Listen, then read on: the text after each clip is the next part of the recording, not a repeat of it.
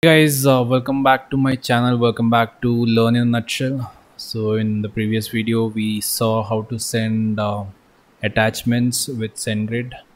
Um, so it was uh, no easy thing to do. Hopefully you have also understood how to do that.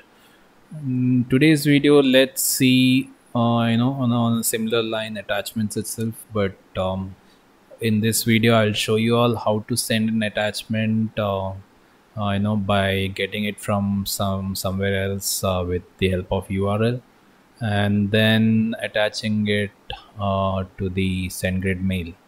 So that we don't have to uh, you know store that particular attachment anywhere locally. Can directly download from the url uh, convert it into a buffer and send it.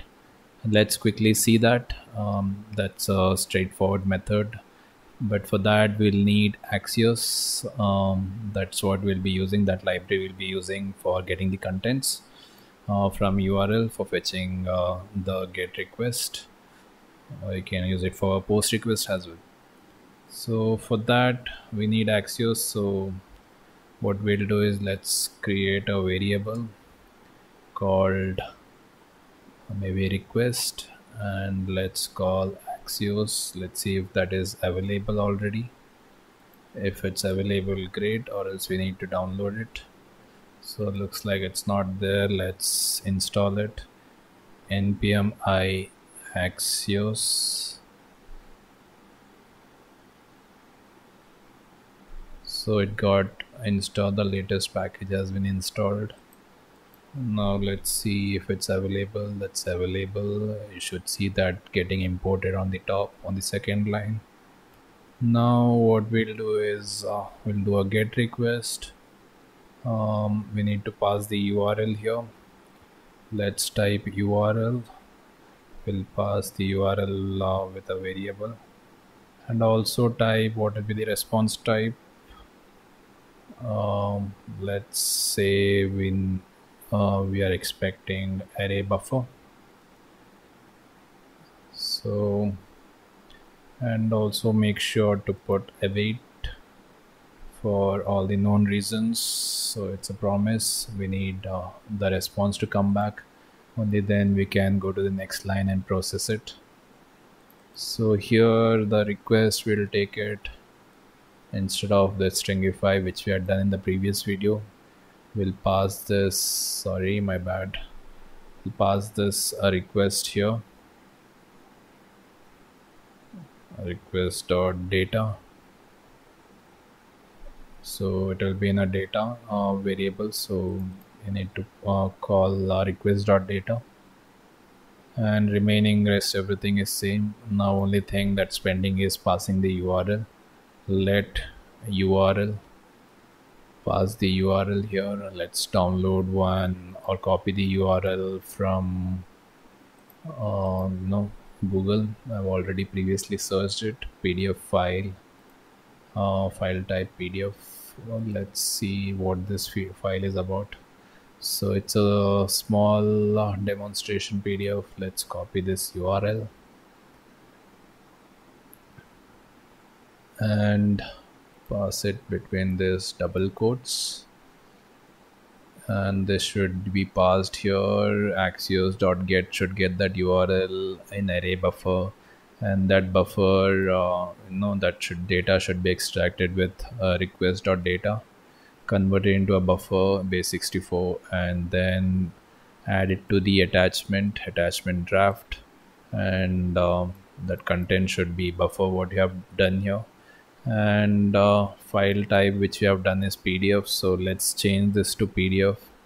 Um, let's give the name as demo pdf. And uh, this should be pdf as well. So the file name should be pdf that should be named properly. And that attachment should be pushed into an array because if you have multiple attachment you can send it here you know um, uh, so that multiple attachment also can be sent. So for this uh, I will just send one attachment and uh, if you want you can do multiple attachments as well. I will also try to send uh, this this particular attachment. Let let's but uh, before that let's quickly test this one and then try to send multiple attachments. So let's see how this turns out to be oh sorry my bad. I try, i'm trying to install it again. Hopefully there should not be any error. Okay it has successfully sent. Let's see if oh there are two attachments. Okay that is uh, previously uh, which had sent that attachment so you can ignore that. In this mail there's only one attachment which has come and that's the attachment which we got directly from the uh, sample.pdf so sendgrid says up to 13 30 mb uh, of file you can send as an attachment so this is just 3 kb so up to 30 mb there should not be any issue if you're sending it uh, you know uh, using this method I believe so, but let me know if you are facing an issue with this. But this is how you do it. Now what we'll do is uh, before ending this video, let's try to send multiple attachment.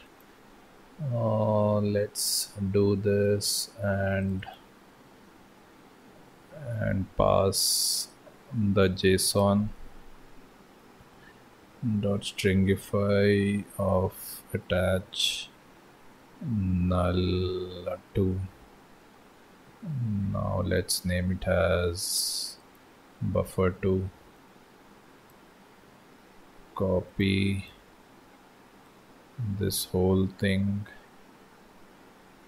put it below this. Change. Uh, let's remove this let from here and send buffer to send the name as json. Here also json. And this draft should be pushed to this attachment over here and this attachment can be added here to this particular um, draft email draft. If it is a plain email if you are sending it via a template uh, you know using the template then you can add the attachment in a similar fashion. You should just just need to pass attachments over here at the end. And remaining this is how you send uh, the rest of the data all the dynamic data goes inside this and the template id is a must to understand which template needs to be used. You can check out the previous video if you have any doubt about that. But let's test this. Hopefully it should send two attachments. So it's successful.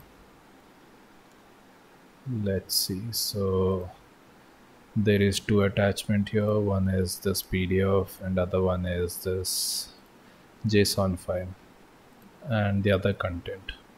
Let's also quickly test with this uh, draft uh, template uh, dynamic template draft.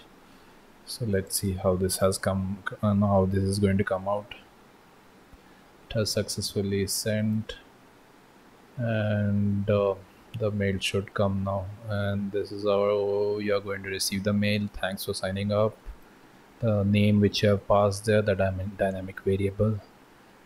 And um, we'll see all the other dynamic uh, no template which is coming up here and with the two attachments.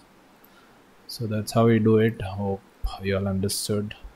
Hope it was easy and useful. So let me know if you have any doubts in the comment section and also um, please uh, you know uh, let me know your valuable comments. Uh, uh so you can put it in the comment section. If you like the video please do the like button subscribe comment and also um, you know do share with your friends. Let's catch you in next video guys. Until then see you. Bye